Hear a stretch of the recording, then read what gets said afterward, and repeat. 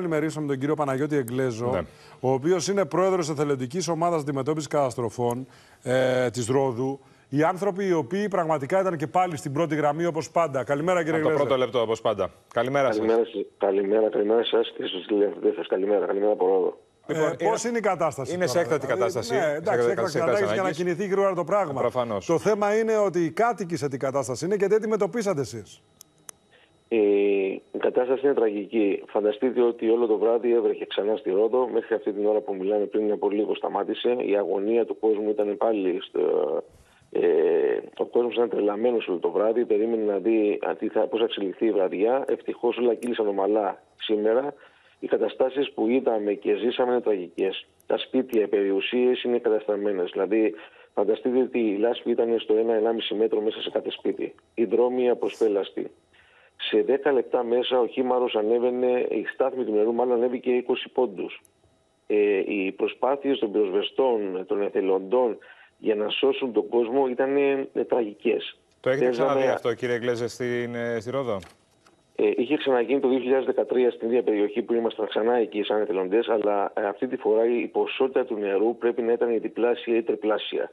Και το κακό ήταν ότι έβρεχε ασταμάτητα από τις 11 η ώρα το πρωί. Αυτό ήταν το τραγικό, ότι δεν μπορούσες καν να επιχειρήσεις. Φανταστείτε ότι εμείς, σαν εθελοντικές ομάδες, απενεργοποιηθήκαμε στις 11 η ώρα το Σάββατο το βράδυ και εμείς ε, ε, αποκλεισμένοι και εγκλωβισμένοι σε ένα σημείο το οποίο ήταν ασφαλής και δεν μπορούσαμε καν να προσεγγίσουμε το κέντρο της Ιαλισσού. Μόνο ο στρατός, όταν ήρθε με τα μεγάλα οχήματα και οι ιδιώτες με τις πολτόζε τις μεγάλες, μπόρεσαν με την πυροσβεστική, τα βαριά οχήματα που είχε να κάνουν τους υπόλοιπους αποκλεισμούς.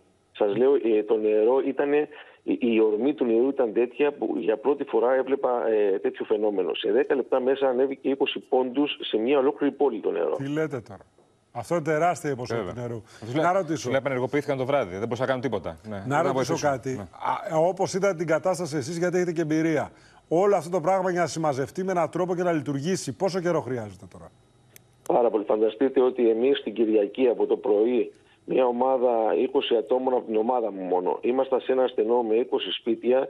Από τις 10 η ώρα το πρωί μέχρι τις 10 το- ε, η ώρα το βράδυ καταφέραμε να καθαρίσουμε μόνο 10 σπίτια. Για να βοηθήσουμε τις λάσπες και τον κόσμο. 10. Από τη Φανταστείτε. λάσπη τώρα αυτό, ε. Α, από λάσπη και από τα υπόγεια που ήταν γεμάτα νερά. από τα χωρίς καταστραμμένα, αντλήσεις. Ε, ένα στενό. Η πόλη, για να καταλαβαίνει ο κόσμος, η πόλη της Ιαλισσού έχει πάνω από 8.000 κόσμο. Ναι. Πόσο, Είναι πόσο πόλη. χρόνο χρειάζεται Είναι πόλη, τώρα ναι. Είναι μια για πόλη. να έρθει στα ίσα της και πόσοι έχουν καταστραφεί. Τι ανάγκες υπάρχουν εκεί Ναι. τώρα, κύριε Γλέζα. Εντάξει, οι ανάγκες είναι κυρίως σε, ανάγκες- σε ρούχα, σε, σε οικοσκευέ.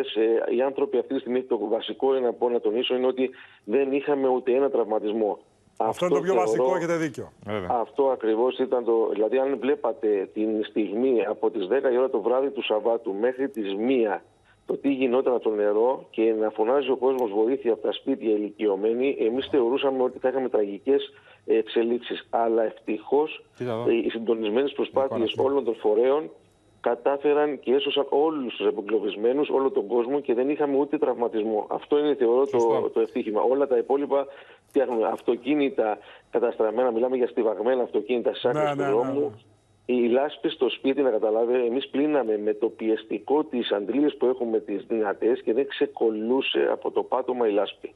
Ούτε από τους τοίχους. Λοιπόν, ε, να πούμε ότι ε, υπάρχει ε, σε εξέλιξη, θα είναι η διαδικασία για τις αποζημιώσεις, αλλά πρέπει να τρέξει γρήγορα, όπως καταλαβαίνουμε όλοι, γιατί αυτοί οι άνθρωποι δεν έχουν στέλνει μοίρα τώρα. Έτσι. Δεν έχουν δουλειά, δεν έχουν σπίτι να μπουν. Θα ρωτήσουμε και τον, κύριο- και τον κύριο Χατζηδάκη τι διαδικασίες θέλουν, χρονικές διαδικασίες. Στη Λίμνο ξεκίνησε. Ενεργοποιείται, λέει, η αρρωγή στη Λίμνο. Προφανώς, ανεργοθεί άμεσα. Να τώρα. ξεκινήσει και στην ε, Ρόδο θα Και στη πρέπει. Ρόδο πρέπει. Είναι, Προφανώς. είναι, είναι πολύ δύσκολες καταστάσεις γιατί σας λέω, εκεί μένουν οικογένειες με μικρά παιδιά. Στα περισσότερα σπίτια, αυτά που έχουν καταστραφεί, είναι άνθρωποι οι οποίοι είναι ε, στο μεροκάματο που λέμε, είναι άνθρωποι οι οποίοι ε, είναι εποχικοί απασχολούμενοι. Στη Ρόδο οι περισσότεροι είμαστε εποχικοί απασχολούμενοι. Δουλεύουν σε ζών, δεν έχουν δυνατότητα να κάνουν το παραμικρό. Δηλαδή, Να αυτή τη ανταποκριθούν, στιγμή, βέβαια. Λογικό. Αυτό λοιπόν, ακριβώς είναι το πρόβλημα. συγχαρητήρια σε εσά και στην ομάδα σας για, Συγχαρητήρια και καλή δύναμη. για μια ακόμη φορά για τη όλες δουλειά τις- που σε όλες κάνετε. τις ομάδες. Σε όλες τις ομάδες. Στη Σε όλες, Ρόδο σε είναι- όλες. έχουμε γίνει μια μεγάλη ομάδα εδώ. Έχουμε τις, είχαμε τις φωτιές, τώρα έχουμε τις πλημμύρες. Ελπίζουμε να μην ξαναχρειαστούμε. Ε, Σωστά. Αυτό είναι το θέμα. Ευχαριστούμε πάρα Να είστε πολύ. καλά. Την καλημέρα μας Να στη είστε καλά. Ρόδο.